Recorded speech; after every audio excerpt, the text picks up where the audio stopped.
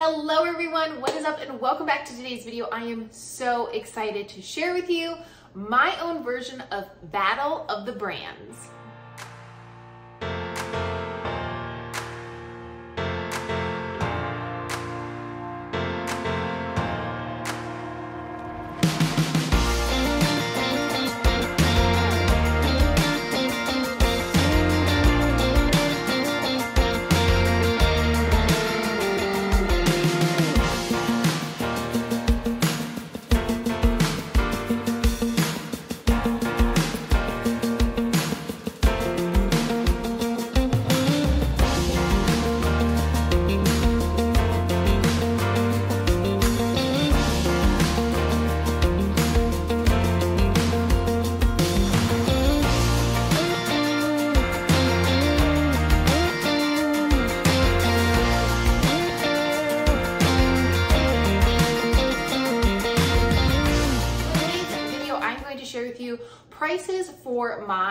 Favorite pantry staples from both Walmart and Target. The reason I'm super excited for this video is because I think it really shows which stores inflation prices have gone up the most, which stores you can save the most at, and yes, one store actually did win.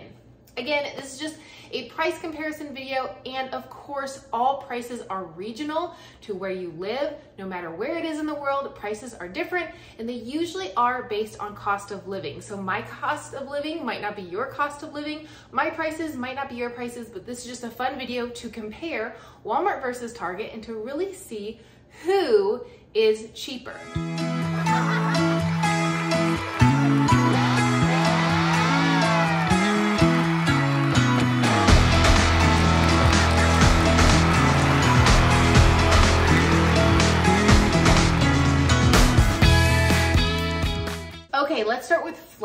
Now flour, whether you purchase regular or gluten-free, was different prices at each store. And I will note, my husband actually just pointed this out, so uh, it kind of messes with the video a little bit, but the packaging on the flour I purchased today and one other item is different sizes per store, but quickly with the math, I think one store still kind of came slightly ahead.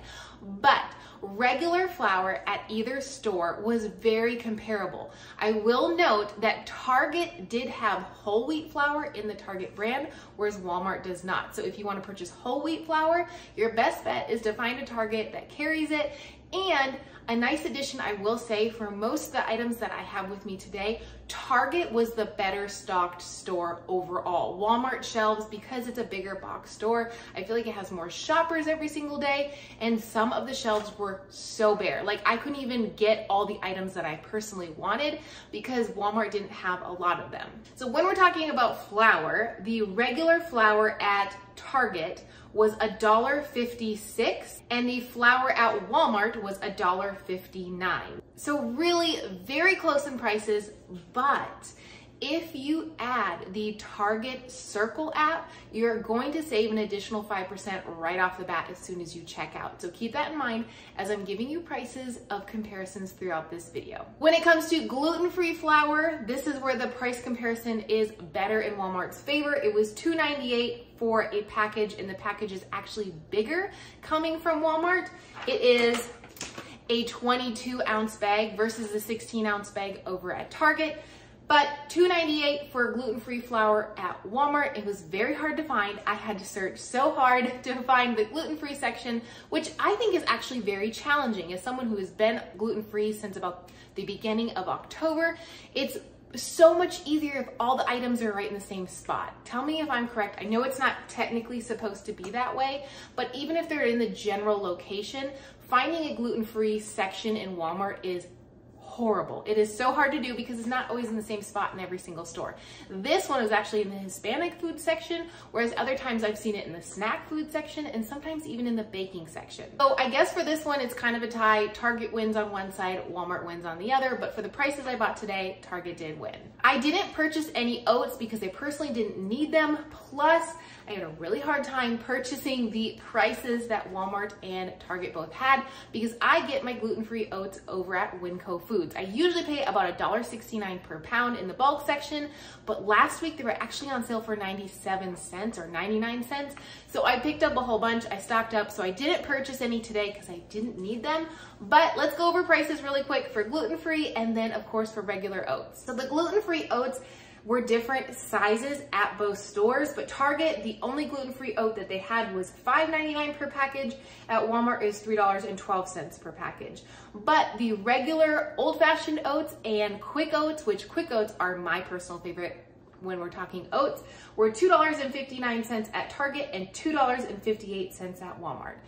Comment below and let me know if you're surprised right now by how close these prices actually are when they vary from store to store because it might get a little bit more shocking when we get into a few other products. Pumpkin is a personal staple now for us because my little chihuahua is becoming very difficult to feed. He won't eat dog food anymore. We've been trying really hard to just kind of create comfort care for him. He's going to be 18 years old in April and we found that he really likes canned pumpkin and rice. So I did pick up both of those things today because they're a huge staple in my kitchen right now and I wanted to share with you the prices for those. So over at Target, a can of pumpkin is 99 cents and over at Walmart, it's 97.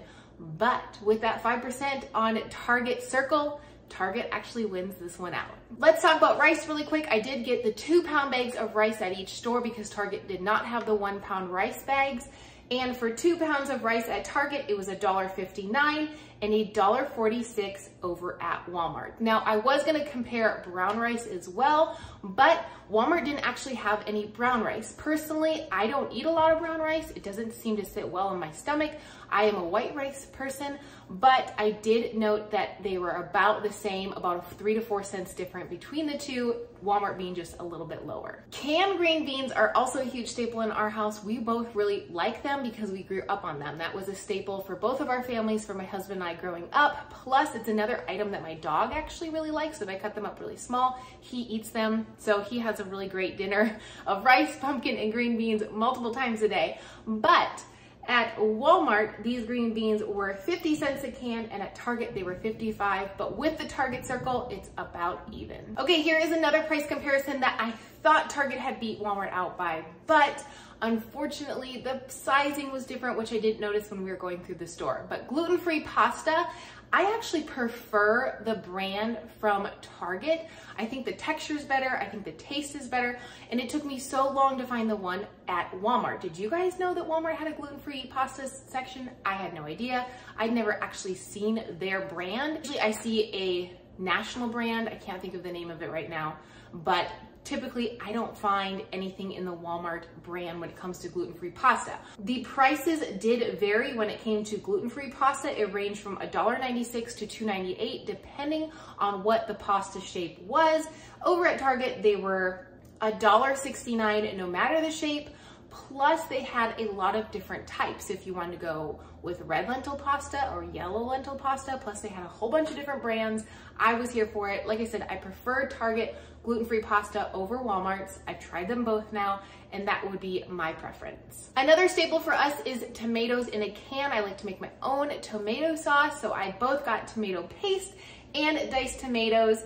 Diced tomatoes at Target were $1.59 and only 96 cents over at Walmart.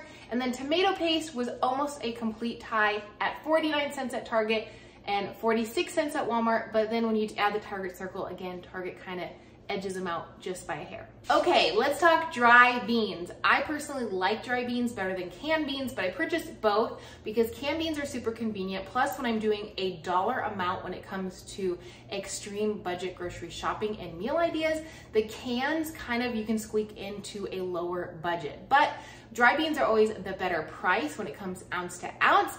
However, this might actually surprise you as to who won the dry bean battle between Target and Walmart. So dry beans, no matter what the type, were 99 cents over at Target. It didn't, it didn't matter if you bought lentils, what color lentils, chickpeas, pinto beans, kidney beans, black beans, they were 99 cents per package and that is for one complete pound. But over at Walmart, they were $1.28 just for black beans, and then every single bean was a different price. And to me, that's a little bit frustrating. Like lentils were $1.28, and then pinto beans were 97 cents, and then kidney beans were $1.07. So it depended on what type of bean that you wanted to purchase. And they did not have chickpeas or garbanzo beans in the dried section. I've never actually seen them at Walmart, but that's my favorite bean to purchase because that's my favorite bean overall. And yeah, I couldn't find it. But Target won this one out in comparison, 97 cents to $1.28.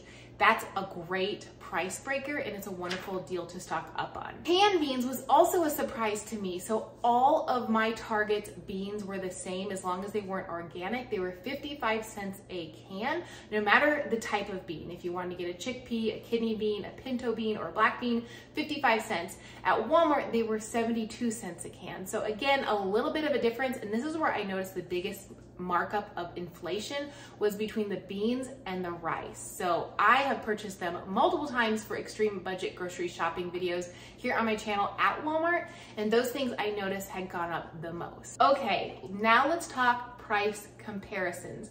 So Target's total was $11.98 before my 5% savings. With my 5% savings, it was $10.47. Walmart's total was $11.79. So technically, on paper today, Target did win.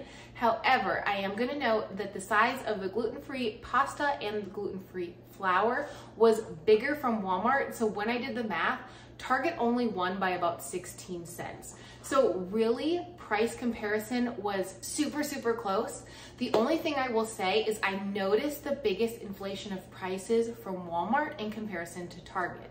When we were talking about beans and pastas, I feel like, and even rice, I feel like those prices have gone up quicker at Walmart than Target has. Target has kind of kept their prices a little bit lower and has not inflated them as quickly as of right now. So that's my price comparison. I hope you enjoyed this part of the video. Now let's jump in to the three wonderful recipes that I have to share with you using these pantry staples because I know many of you guys who view my videos have these staples on hand every single week.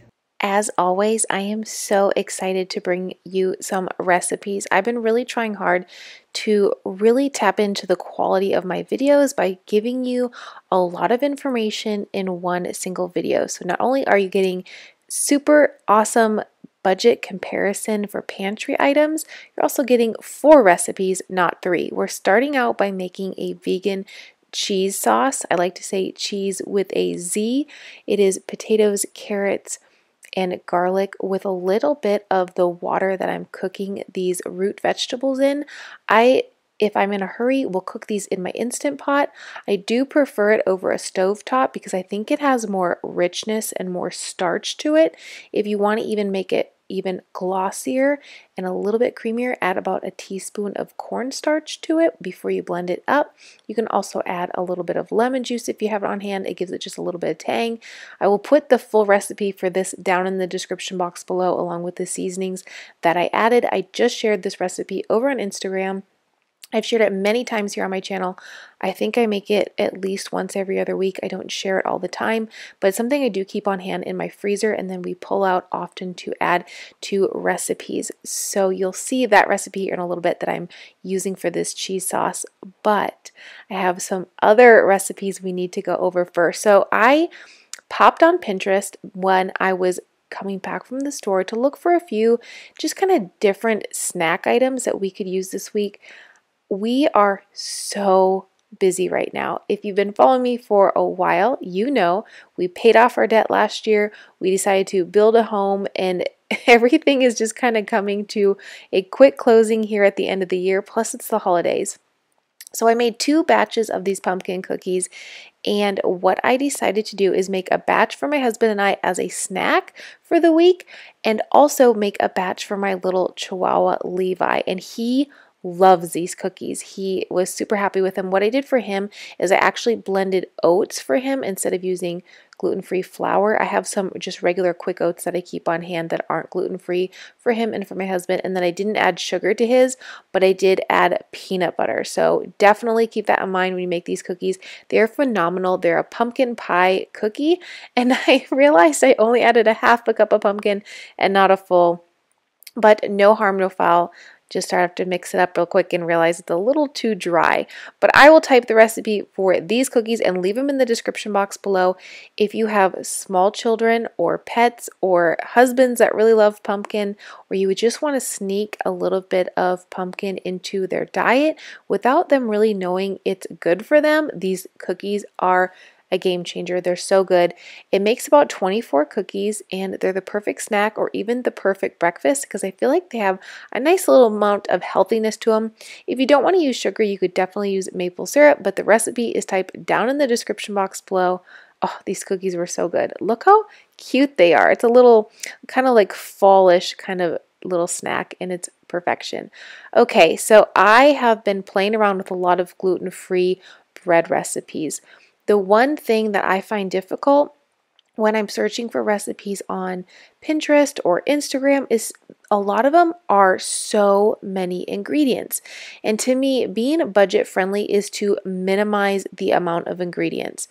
For example, I personally don't want to go buy a whole bunch of ingredients for a loaf of bread and then not like the bread I made and then have all these ingredients on hand. So I'm really trying to test the waters, test different recipes, and I've made an Irish soda bread here on my channel before, but I did not add a fat source. The thing is, is a lot of people I know who follow my channel are oil free. They don't use a lot of fat sources. You don't have to use it, but I found with this recipe, it was 100 times better. So this is a very minimal ingredient recipe. It's gluten-free, it is vegan. I'm using soy milk and about 4 tablespoons of melted butter. So when you do the kind of ratio of how much butter is in per slice, it's not really that much. You could even cut that down in half if you wanted to, but this recipe is so good. When you are working with Irish soda bread, I will say it feels very dry because there's no yeast to it. Please know that's totally normal. The outside is usually very dry as well, especially with gluten-free flour. Another thing I will note if you do make this bread is don't play with it a whole lot. It is kind of mealy, almost like kinetic sand. Whenever I make a gluten-free bread, I feel like that's the best way to explain it. If you don't know I'm talking about, it's almost like a sand that feels wet and dry at the same time. Um, but don't play with it too much. Don't over knead it because it will get really rough and you want it to keep its moisture as much as possible. But this bread turned out so good. I've made many loaves of this in the last couple weeks and I'm really happy with how it turned out.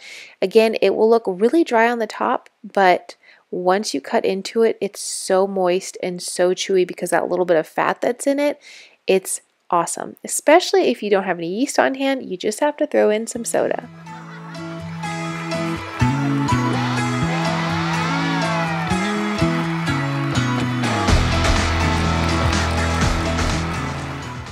And of course, I have to share with you what I am using that cheese sauce for. So I decided to take some Rotel, some corn and black beans, a little bit of onion, and some gluten-free spaghetti. Throw it all together and have this really good, almost like taco pasta.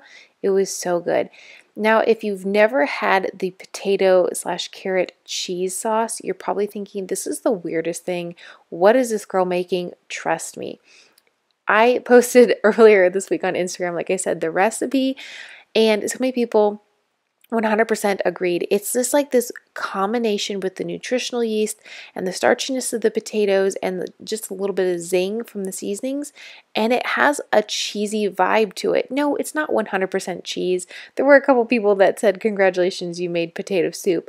But it does add so much flavor and just a really nice texture. Trust me, just try it once. You're either going to love it or you're going to hate it you might need to try it a couple times because I think we all at first are kind of like, wait, what is this? But it's really good. And I feel like Rotel really amps it up. Same with a little bit of red onion. It's so delicious. I will also add for this pasta dish, leave about a quarter of a cup of pasta water just to kind of get the little bit of extra starch in your pot to make it really nice and creamy.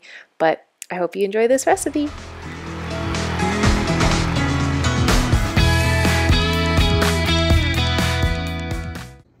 To quickly say thank you so much for watching today's video. I hope you really liked it and I'll see you next Thursday. I have a jam-packed dinners recipe video coming for you guys, just like the one I put out last week, which I'll link right up here in the cards, plus link down below for you.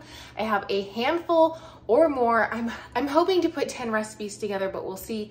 It has been an extremely busy season for me, which is why I'm cutting down to the one video a week, but I have so many good awesome, easy weeknight meals for you coming next Thursday. I'll see you then. Bye-bye.